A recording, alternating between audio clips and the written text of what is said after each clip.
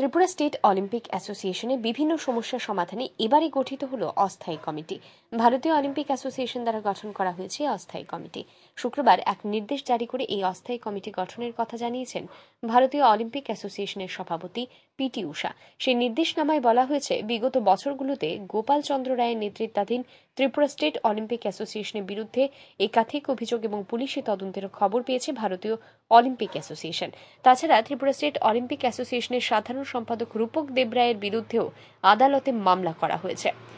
এমনকি তার বিরুদ্ধে আগাম জামিনহীন গ্রেপ্তারি পরোয়ানাও জারি করেছেন পশ্চিম ত্রিপুরা জেলার বিশেষ বিচারক। তাই এইসব বিষয়কে মাথায় রেখে ত্রিপুরায় অলিম্পিক আন্দোলন রক্ষা এবং ক্রীড়ার ধারাবাহিক বিকাশ নিশ্চিত করার জন্য ত্রিপুরা স্টেট অলিম্পিক অ্যাসোসিয়েশনের বর্তমান কমিটি বাতিল করে একটি অস্থায়ী কমিটি গঠন করার সিদ্ধান্ত নিয়েছে ভারতীয় অলিম্পিক অ্যাসোসিয়েশন।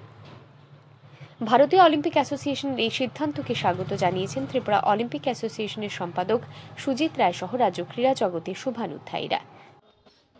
ত্রিপুরা রাজ্যের ক্রীড়া জগতের এক উল্লেখযোগ্য দিন। রাহুমুক্তি ঘটেছে, আমি বলব রাহুমুক্তি ঘটেছে। আমরা ত্রিপুরা অলিম্পিক অ্যাসোসিয়েশনের পক্ষ থেকে ইন্ডিয়ান অলিম্পিক অ্যাসোসিয়েশনের সভানেত্রী পিটি উষাকে ধন্যবাদ জানাই। উনি গতকালকেই এক আদেশ দিয়েছেন লেটার দিয়েছে যে ত্রিপুরাতে যে স্টেট অলিম্পিক অ্যাসোসিয়েশন ছিল, এটা বাতিল করে দিয়েছে।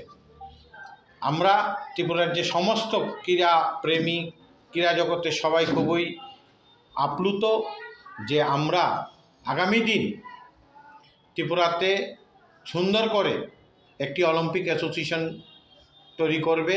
তার জন্য তিন সদস্যের কমিটি গঠন করে দিয়েছে। তাতে আছে মেঘালয়ের যিনি ওয়ার্কিং প্রেসিডেন্ট জন এফ কার্সিয়া, আছেন অরুণাচল প্রদেশের যিনি সেক্রেটারি জেনারেল রবং তাবাং এবং আছেন মিজোরামের রবার্টু স্যার যিনি প্রেসিডেন্ট।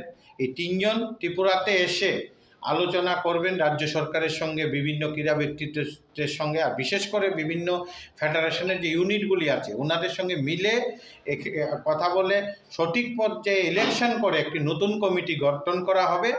আমরা তার জন্য পিটি উষাকে ধন্যবাদ জানাচ্ছি। আমরা একটা ধন্যবাদ র্যালি করব ত্রিপুরা অলিম্পিক অ্যাসোসিয়েশন থেকে। কারণ দুই হাজার আটের পর একটি রাহমুক্তি ঘটেছে। আমাদের সভাপতি বিশ্বেশ্বনন্দী স্যার, দ্রোণাচার্যা বলেছেন যে ত্রিপুরার প্রচুর খেলোয়াড় গিয়ে কেঁদেছেন, খেলতে পারছেন না ট্রেকে ঢুকতে পারেননি। তাছাড়া দেখা গেছে অবৈধ খেলোয়াড় খেলেছে ত্রিপুরার নাম দিয়ে। এটা এটা কোনোদিনই আমরা মানতে পারিনি। সামনে ন্যাশনাল গেমস আছে। আমাদের জানুয়ারি মাসে উত্তরাখণ্ডে অনুষ্ঠিত হবে। এখান থেকে টিম যাবে এবং ওই তিন সদস্যের উপর দায়িত্ব দেওয়া আছে।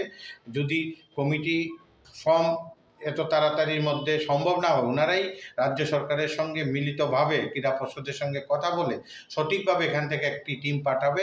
আমি ধন্যবাদ জানাচ্ছি আমাদের যিনি নেতৃত্ব দিয়েছিলেন, আমাদের অ্যাডভাইজারি বোর্ডের যিনি চেয়ারম্যান সদ্য রতন শাহ মহোদয়। এবং ধন্যবাদ জানাচ্ছি যারা এই কাজের সঙ্গে জড়িত, সবাইকে বিশেষভাবে ধন্যবাদ জানাচ্ছি রাজ্যের মাননীয় খেলপ্রেমী মুখ্যমন্ত্রী প্রফেসর ডক্টর মানিক শাহ মহোদয়কে। উনি কয়েকবার দু হাজার পঁচিশ সালের পনেরো ফেব্রুয়ারি এই অস্থায়ী কমিটির মেয়াদ সমাপ্ত। হবে। ব্যুরো রিপোর্ট আর ই নিউজ।